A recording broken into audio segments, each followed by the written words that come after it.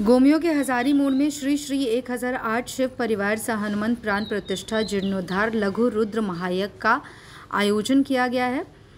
सोमवार की सुबह 501 महिलाएँ और युवतियाँ अपने माथे पर कलश रखकर क्षेत्र का भ्रमण करते हुए छिलका पुल स्थित कोनार नदी तट पहुँची। तत्पश्चात कलश में जल भरकर वापस यज्ञ स्थल पहुंचकर कलश को स्थापित किया। इसके साथ ही पाँच दिवसीय महायज्ञ की शुरुआत हो गई। इस संबंध में आचार्य संजय शास्त्री ने बताया कि महायज्ञ के आयोजन से आसपास का वातावरण शुद्ध हो जाता है। इस दौरान लोग भक्ति के सागर में डुबकी लगाते हैं। साथ ही महायज्ञ में शामिल होकर लोग पुण्य के भागी बनते हैं।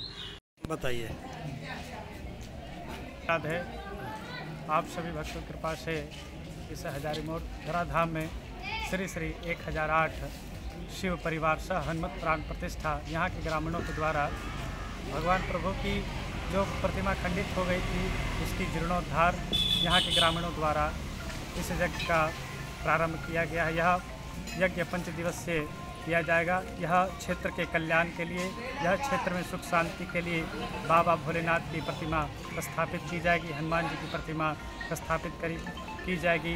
इसी कामना से कि सर्वे भवंतु सुखिनः, सर्वे संतु निरामया, सर्वे भद्राणि पश्यंतु माँ कश्य दुर्भाग भवेद इसी कामना से हम सभी ब्राह्मण इस यज्ञ को सफलतापूर्वक पूर्ण करके बाबा भोलेनाथ की प्रतिमा स्थापित की जाएगी।